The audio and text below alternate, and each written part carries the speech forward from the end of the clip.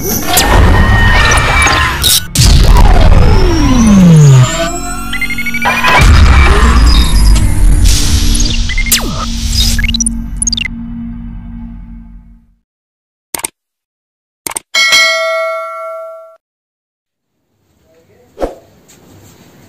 दोस्तों, मैं Aman Kumar rainbow coaching centre में आपका स्वागत है। तो पिछले वीडियो में हमने प्रश्नावली 1.2 के क्वेश्चन नंबर एक को सॉल्व कर चुके थे। और आज हम प्रश्नावली 1.2 के ही क्वेश्चन नंबर टू को सॉल्व करेंगे। ठीक है? तो ध्यान देंगे क्वेश्चन नंबर टू पर। आप लोगों को बोर्ड स्क्रीन पर क्वेश्चन नंबर टू दिखाई दे रहा होगा। ठीक है? क्वेश्चन को ध्यान से देखेंगे। क्वेश्चन में कह रहा है क्वेश्चन में कह रहा है कि पूर्णांकों के निम्नलिखित युग्मों के एचसीएफ और एलसीएम ज्ञात कीजिए तथा इसकी जाँच कीजिए कि दो संख्याओं का गुणनफल बराबर एचसीएफ गुणे एलसीएम है। ठीक है? तो बारी बारी से हम क्वेश्चन को सोल्व कर रहे हैं। आप लोग बढ़िया से ध्यान से देखेंगे। ठीक है? Question number one question number एक में दिया है। क्वेश्चन नंबर एक में दिया है कि 26 और इक्यानवे। छब्बीस और इक्यानवे। ठीक है? दोनों का क्या ज्ञात करना है? एचसीएफ और एलसीएम ज्ञात करना है और इसकी जाँच करना है कि दो संख्याओं का गुणनफल जो है ये बराबर जो है एचसीएफ और एलसीएम के गुणनफल के बराबर होता है। ठीक है? तो आप लोगों को मैंने पिछले वीडियो में गुणनखंड करने का तरीका भी बताया था। गुणनखंड कैसे किया जाता है? तो देखिए, यहाँ पर कितना छब्बीस है और यह क्या है? इक्यावन। इक्यानवे। ठीक है? तो 26 और इक्यानवे है तो 26 का गुणनखंड करेंगे इसे दो से करेंगे, तेरह बार में कटेगा। ठीक है? यानी 26 का गुणनखंड कैसे लिख सकते हैं? दो गुड़े तेरह। लिख सकते हैं ना? उसी तरह से इक्यानवे है तो इक्यानवे का भी गुणनखंड कर सकते हैं। इक्यानवे का करेंगे कितना से होगा? सात से। सात से करेंगे तो कितने बार में? तेरह बार में। यानी इक्यानवे का गुणनखंड अगर कर सकते हैं तो इक्यानवे बराबर सात गुड़े तेरह। तो यहाँ पर हम डायरेक्ट ये रफ कार्य में किया जाएगा, ठीक है? एग्ज़ाम में इस तरह से बनाना है। कि 26 का गुणनखंड जो किए हैं, कितना हो जाएगा? दो गुड़े तेरह। और इक्यानवे का कितना हो जाएगा? सात गुड़े तेरह। ठीक है? तो यहाँ पर ध्यान देंगे कि एचसीएफ और एलसीएम ज्ञात करना है हमें। एचसीएफ और एलसीएम ज्ञात करना है। तो लिखेंगे एचसीएफ ठीक है? 26 और 26 और इक्यानवे का। तो एचसीएफ जो होता है, महत्तम समापर्तक जो एचसीएफ होता है इस तरह का अगर क्वेश्चन में दिया रहेगा कि इस तरह से दो संख्या दिया रहेगा और कहेगा कि इसका एच और एचसीएम ज्ञात कीजिए तो एच ज्ञात करने का सबसे आसान विधि है कि देखेंगे कि दोनों में क्या कॉन्स्टेंट जैसे कि उभयनिष्ठ मिल रहा है। उभयनिष्ठ कौन है? तो देखिए, कहने का मेरा मतलब यह है कि दोनों में एक जैसा जो है, वही उसका एच होता है। ठीक है? तो दोनों में क्या है? देखिए तो इसमें दो है। इसमें दो है? नहीं। इसमें तेरह है। इसमें तेरह है, ठीक है? तेरह है तो देखिए यहाँ पर तेरह ये दोनों का जोड़ा लग गया।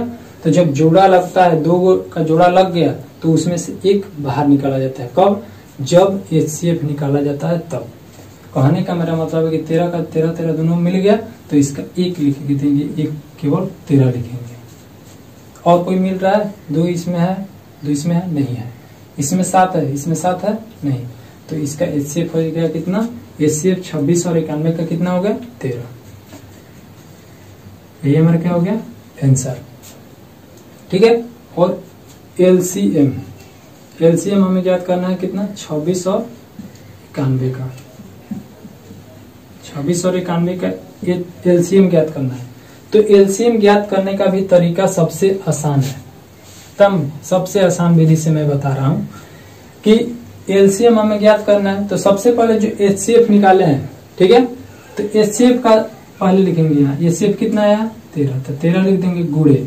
अब देखेंगे कि जिसका जोड़ा लगा है, उस पर थोड़ा सा भी अब ध्यान नहीं देना है। क्योंकि जो जोड़ा लगा था, हम पहले ही बताएँ कि एच जितना दिया एच को लिख लेंगे, ठीक है? जो जोड़ा लगा उस पर ध्यान नहीं देंगे देखो, तेरह है। तेरह है तो इसको जोड़ा। यहाँ पर ध्यान, इस पर थोड़ा सा भी ध्यान नहीं देंगे। तो यहाँ पर क्या क्या दिखाई दे रहा है? दो और सात। तो जो जोड़ा नहीं लगा है तो उसको गुड़ा में लिख देंगे। कहने का मतलब है कि जितना एच आया उतना, और जिसका जोड़ा नहीं लगा है उतना का गुणनफल कर देंगे तो जितना आएगा तो वही हमारा क्या होगा? एलसीएम ठीक है? तो तेरह दूनी छब्बीस और छब्बीस में सात से करेंगे तो हो जाएगा एक सौ बयासी। तो हमारा एलसीएम कितना हो गया? एक सौ बयासी। और एस कितना हुआ? तेरह। ठीक है? अब यहाँ बात कर रहे क्वेश्चन में बोला है कि जाँच करना है। कि जाँच करना है, जाँच करना है हमें कि दो संख्याओं का गुणनफल जाँच में करना है कि दो संख्याओं का गुणनफल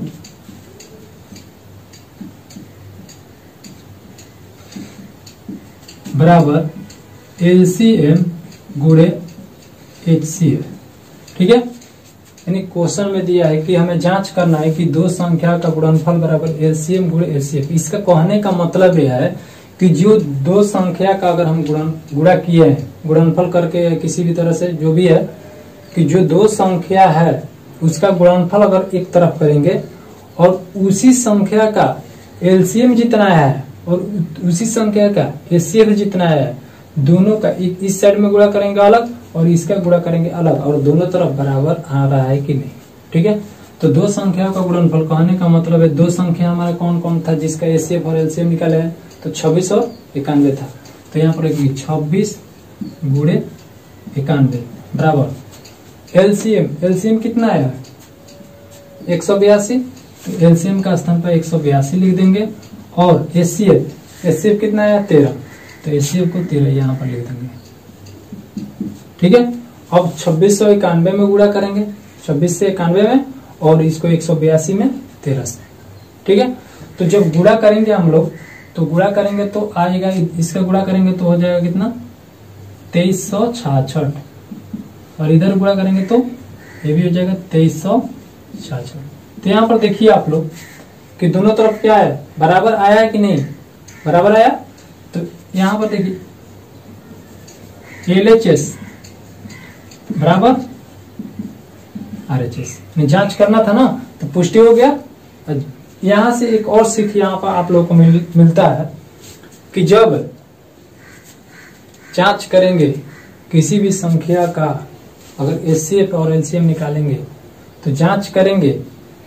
जाँच किए दो संख्या का गुणनफल एलसीएम गुणे एस दिया है। तो दोनों तरफ़ अगर गुड़ा करेंगे, दोनों तरफ़ अगर बराबर आएगा तो समझ जाएँगे कि हमारा आंसर सही है। यानी एस और एलसीएम जो है, सही है। और दोनों तरफ़ बराबर नहीं आता है तो समझ लीजिए कि कहीं ना कहीं हमारा गड़बड़ हुआ है, कहीं गलती है। ठीक है? तो यहाँ तक हम लोगों का जितना भी बनाया है उतना तक सही है। ठीक है? यानी दोनों तरफ़ देखेंगे, यहाँ से कहने का मतलब मान लीजिए आप लोग एग्ज़ाम में बैठे और एग्ज़ाम में क्वेश्चन बनाए, बहुत सस्पेंस हो जाता है कि क्वेश्चन बनाए हैं, सही है कि गलत है तो इस तरीके से भी वहीं पर जाँच कर सकते हैं आप लोगों को आंसर देखने की कोई ज़रूरत नहीं है। चलिए आते हैं क्वेश्चन नंबर टू पर। क्वेश्चन नंबर टू में है, ध्यान देंगे, क्वेश्चन नंबर टू में कह रहा है कि 510 और बानवे। क्वेश्चन नंबर टू में है कि 510 और बानवे, इसका एसीएफ और एलसीएम ज्ञात करना है। तो 510 का सबसे पहले हम लोग गुणनखंड करेंगे। 510 दो से कटाएँगे। दो सौ पचपन बार में कट गया। ठीक है? फिर इसको करेंगे तीन से। तीन से करेंगे तो तीन आठ चौबीस और तीन पाँच पंद्रह। फिर करेंगे पाँच से। पाँच से करेंगे तो पाँच एक पाँच और पाँच सतह पैंतीस। यानी सत्रह बार में। तो 510 को कैसे लिख सकते हैं? यहाँ पर ध्यान देंगे 510 का गुणनखंड करेंगे तो कितना होगा? दो गुड़े तीन गुड़े पाँच गुड़े सत्रह। यानी दो गुड़े तीन गुड़े पाँच गुड़े सत्रह। ठीक है? और बानवे को कैसे करेंगे? बानवे का भी गुणनखंड करेंगे। तो बानवे का करेंगे तो सबसे पहले कितना? दो से, ठीक है? छियालीस बार में गया, फिर दो से तेईस बार में। ठीक है? तो बानवे को कैसे लिख सकते हैं? दो गुड़े दो गुड़े तेईस। लिख सकते हैं? तो बानवे का भी गुणनखंड किया है तो इसको कैसे लिख सकते हैं कि दो गुड़े दो गुड़े तेईस। ठीक है? यहाँ तक किसी को दिक्कत है? चलिए, ध्यान देते हैं। तो यहाँ तक हो गया तो आप लोग को पिछले वीडियो में, पिछले क्वेश्चन में भी मैं बताया हूँ, या पिछले वीडियो में भी बताया था कैसे गुणनखंड किया जाता है, गुणनखंड पूरा हो गया। और अब बात रहा कि एचसीएफ निकालने का। तो एचसीएफ निकालने का क्या है कि जो दोनों में मिल रहा है, जो दोनों में उभयनिष्ठ गुणनखंड है, वही एचसीएफ होता है। तो दोनों में देख रहे हैं कि दोनों में क्या मिल रहा है? दोनों में क्या है? इसमें दो है। ठीक है? इसमें दो है? मिल है दो दो है। तो जोड़ा कितना का लगता है? दो का जोड़ा लगता है। तो यहाँ पर देखिए दो दो मिल गया। अब ये दोनों में कौन मिल रहा है? नहीं मिल रहा है? तो एस सी एफ़ कितना एस सी एफ़ पाँच सौ दस और बानवे का। दोनों में क्या मिला है? दो। तो ये को दो लिख देंगे। आंसर एलसीएम ज्ञात करना है। एलसीएम कितना हो जाएगा? पाँच सौ दस और बानवे का। हम क्या बोले हैं? एलसीएम ज्ञात करने के लिए जो एचसीएफ आया है, कितना एच हमारा आया है? दो। ठीक है? दो आया है। अब क्या करेंगे कि दो आ गए, एचसीएफ तो दो आया है। उसका अब देखेंगे कि जो गुणनखंड किए हैं, ध्यान देंगे, गुणनखंड किए जो मिला है उसको इसको निगलेक्ट कर देना है। किसी भी तरह इस पर ध्यान नहीं देना है ठीक है? और देख यहाँ पर दे, देखेंगे जो जो नहीं मिला है कौन कौन नहीं मिला? तीन पाँच सत्रह दो तेईस। नहीं मिला है तो उसको भी गुड़ा में लिख देंगे। यानी तीन गुड़े पाँच गुड़े सत्रह गुड़े दो गुड़े तेईस। दो गुड़े तेईस। और ये सब का गुड़ा करेंगे एक साथ गुड़ा कर देंगे। यहाँ पर ध्यान देंगे कि जो गुड़ा करेंगे गुड़ा करेंगे तो इसका पूरा गुड़ा करेंगे तो आएगा तेईस हज़ार चार सौ साठ। ठीक है? पूरा गुड़ा करेंगे तो कितना आएगा? तेईस हज़ार चार सौ साठ। तो ये हमारा आंसर हो गया। ठीक है? अब कह रहा है क्वेश्चन में बोला है क्वेश्चन में दिया है कि इसका जाँच भी करना है। ठीक है? तो जाँच करेंगे। दो संख्याओं का गुणनफल दिया है, दो संख्या का गुणनफल है। यहाँ पर लिखेंगे जाँच। दो संख्याओं का गुणनफल दो संख्याओं का गुणनफल बराबर एलसीएम गुड़े एच सी एम ठीक है? तो यहाँ पर ध्यान देंगे दो संख्या हमारा कौन कौन है? दो संख्या कौन कौन पाँच सौ दस और बानवे। यही है ना? दोनों में क्या है? पाँच सौ दस और बानवे है, दो संख्या है। तो पाँच सौ दस गुड़े बानवे। बराबर। एलसीएम। एलसीएम कितना है हमारा? तेईस हज़ार चार सौ साठ।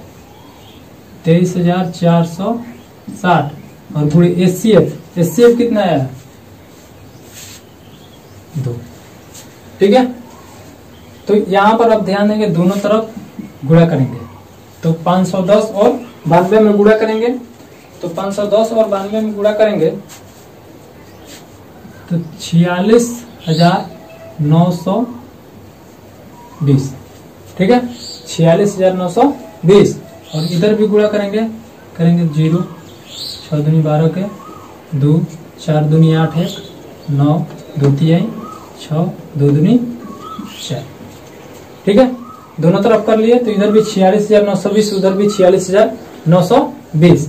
तो देख रहे हैं कि एल एच एस बराबर एल एच एस बराबर क्या आ गया? आर एच एस ठीक है? तो ये हमारा जाँच हो गया। चलिए, क्वेश्चन नंबर तीन। क्वेश्चन नंबर तीन में दिया है तीन सौ छत्तीस और चौवन। तीन सौ छत्तीस और चौवन। इसका एसीएफ और एलसीएम ज्ञात करना है। तो उसी तरह से 336 का यहाँ पर ध्यान देंगे। 336 का गुणनखंड करेंगे। ठीक है? सबसे पहले ध्यान देंगे। दो से कटाएँगे। एक आठ। एक सौ अड़सठ बार में फिर दो से करेंगे। दो आठ है सोलह। दो चौका आठ। फिर दो से करेंगे। चार, दो। बयालीस बार में कटेगा। फिर दो से करेंगे। इक्कीस बार में गया। फिर तीन से कटाएँगे। तीन सात इक्कीस। ठीक है? अब कटेगा आगे? नहीं। तो देखिए तो 336 को हम कैसे लिख सकते हैं? 336 को लिख सकते हैं, गुणनखंड करेंगे तो दो गुड़े दो गुड़े दो गुड़े दो गुड़े तीन गुड़े सात। यानी दो गुड़े दो गुड़े दो गुड़े दो गुड़े तीन गुड़े सात। लिख सकते हैं? क्यों? ये पूरा का पूरा करेंगे तो 336 आएगा। ठीक है? अब चौवन का। चौवन का भी गुणनखंड करेंगे, ठीक है? तो यहाँ पर ध्यान देंगे चौवन का गुणनखंड कर रहे हैं, दो से करेंगे, ठीक है? सताइस पर में क्या?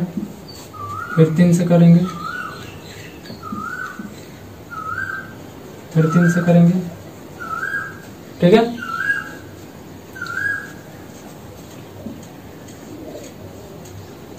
तीन से करेंगे तो एक बार हो गया।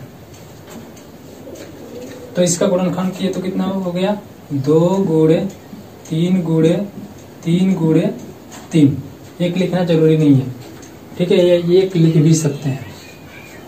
तो चलिए गुड़ा करेंगे तो हो जाएगा। दो तीन छ, ठीक है? छत्री के अठारह और अठारह तीन चौवन। तो हमें अब ज्ञात करना है क्या? H C F H C F ज्ञात करना है। यहाँ पर ध्यान दीजिए कि एच में हम बार बार बता रहे हैं कि जो दोनों में मिलता है तो यहाँ पर ध्यान देंगे। जोड़ी लगेगा, दो दो का जोड़ी लग गया। अब और भी देखेंगे इसमें, और दो दो इसमें और दो गो है, इसमें दो है, नहीं।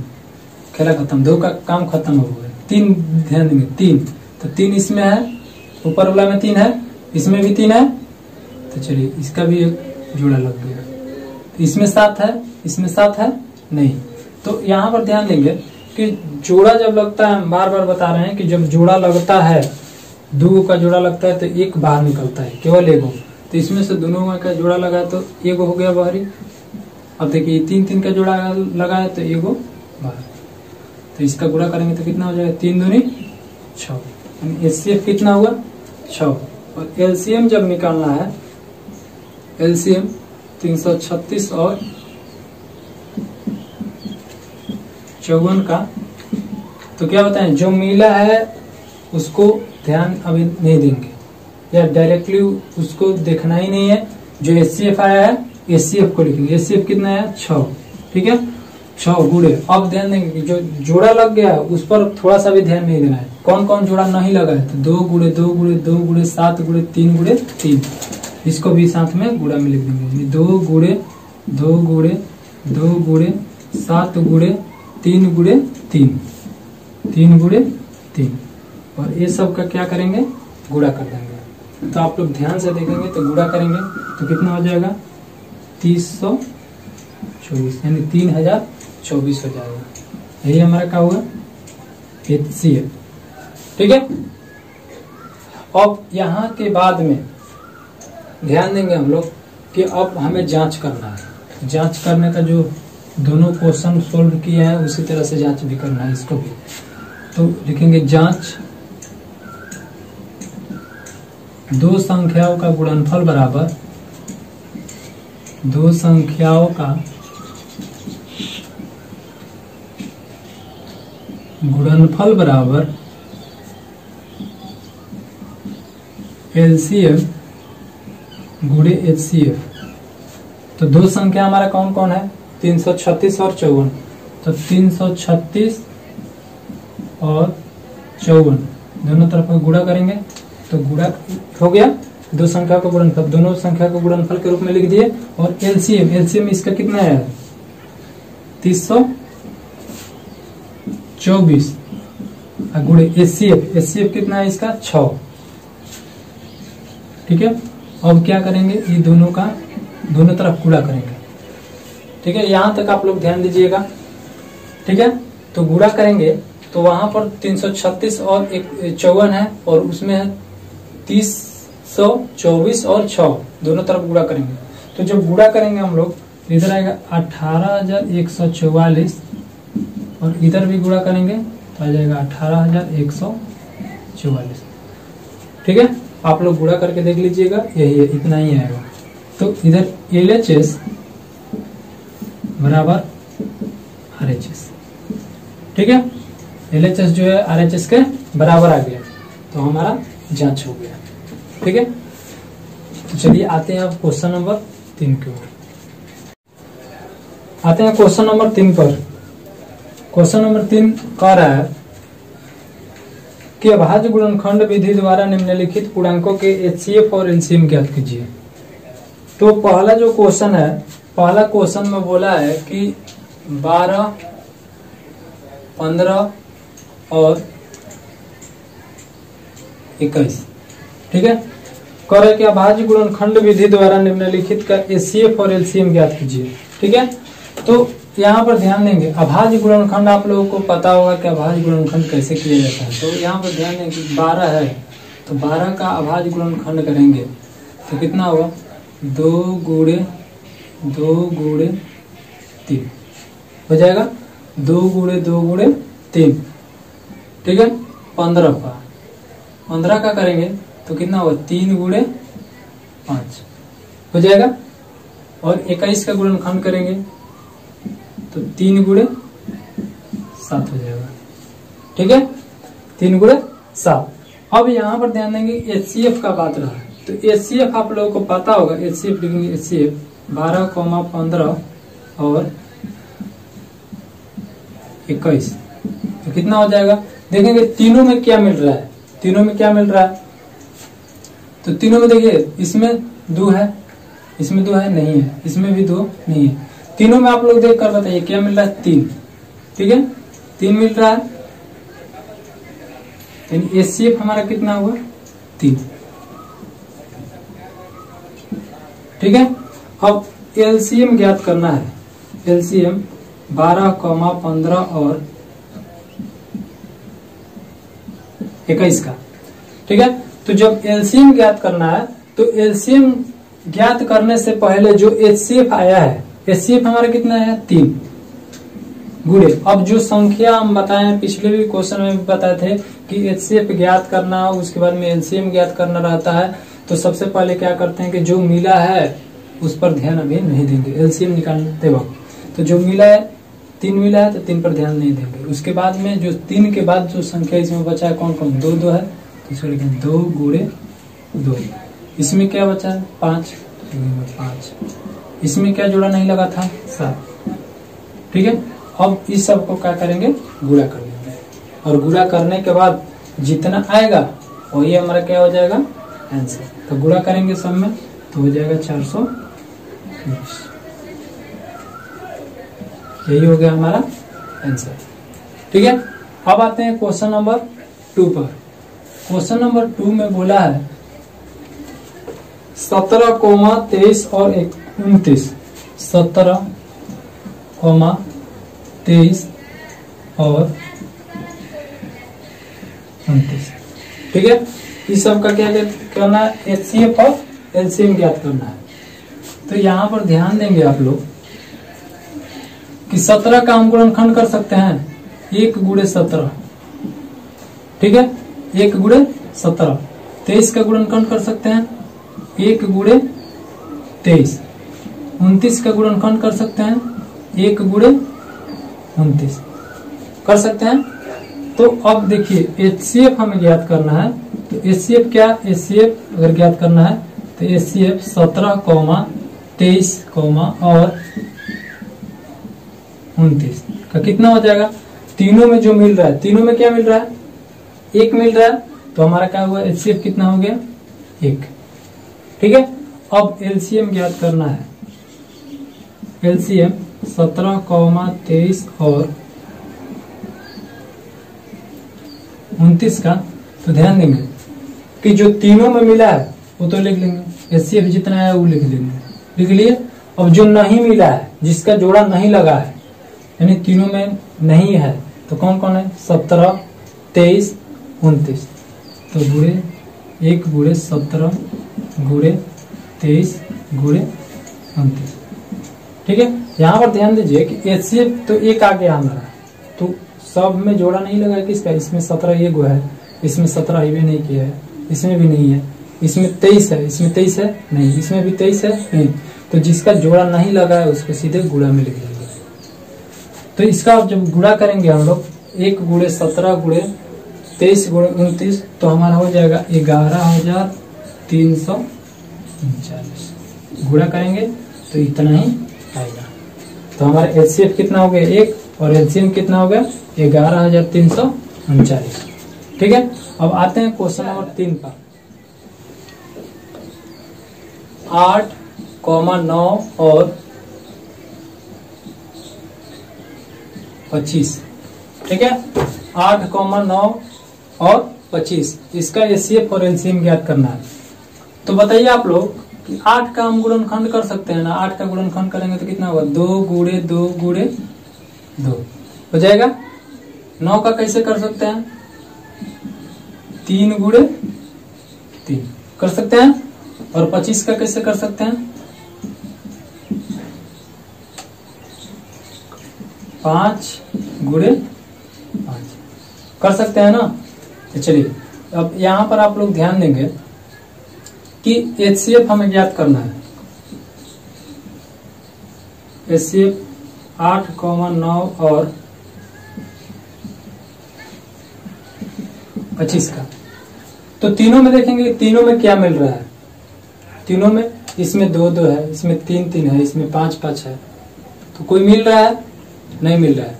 जब नहीं मिलेगा, या लास्ट में हम ये भी एक गुड़ा एक लिख के भी दर्शा दर्शा सकते हैं, जैसे गुड़े एक गुड़े एक गुड़े एक।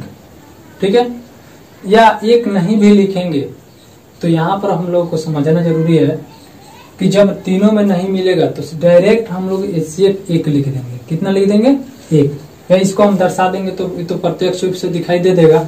लेकिन जब हम दर्शाएँगे नहीं और देखेंगे कि संख्या और एक के अलावा और भी जो है नहीं मिल रहा है तो डायरेक्ट उसमें एच जब ज्ञात करेंगे तो तीनों में अगर संख्या देखते हैं कि नहीं मिलता है तो उसको एक लिख दिया जाता है कि उसका एचसीएफ कितना हुआ? एक। तो यहाँ पर ध्यान देंगे कि लास्ट में हम गुड़ा में एक एक लिख दिए हैं। तो यहाँ इसका एचसीएफ कितने, तीनों में क्या मिल रहा है? एक। तो एच कितना हो गया? एक। अब बात रहा एलसीएम ज्ञात करने का। तो एलसीएम आठ कौमा नौ और और पच्चीस। तो देखिए तीनों में अगर नहीं मिलता है, तीनों में नहीं मिलता है मेरे कहने का मतलब यह है कि तीनों अगर अलग अलग संख्या रहता है और तीनों का उभयनिष्ठ गुणनखंड नहीं मिलता है, एक के अलावा तो सीधे क्या करते हैं कि सभी संख्या को आपस में गुणा कर देते हैं। ठीक है? कहने का मतलब यह है, यहाँ से भी आप लोग देख सकते हैं कि एक एक जब मिला था तो इसके अलावा और क्या बाकी रह रहा है? ऐसा बाकी रह रहा है ना?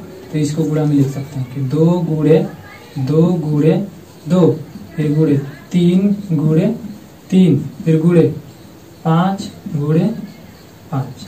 ठीक है? तो इसको करेंगे दो दुनी, चार। चार दुनी, आठ। हो जाएगा?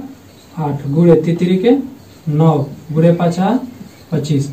और इस सब का गुड़ा कर देंगे। तो गुड़ा करेंगे तो हमारा कितना हो जाएगा? पच्चीस सौ अठी दो सौ, और दो सौ में नौ से करेंगे, पच्चीस सौ अठी दो सौ हो जाएगा? और दो सौ में नौ से गुड़ा करेंगे तो नौ दुनी अठारह सौ। आंसर यानी एलसीएम कितना हो गया? अठारह सौ और एच कितना हुआ? एक। तो ठीक है दोस्तों तो मिलते हैं नेक्स्ट वीडियो के साथ। तब तक बने रहिए हमारे साथ और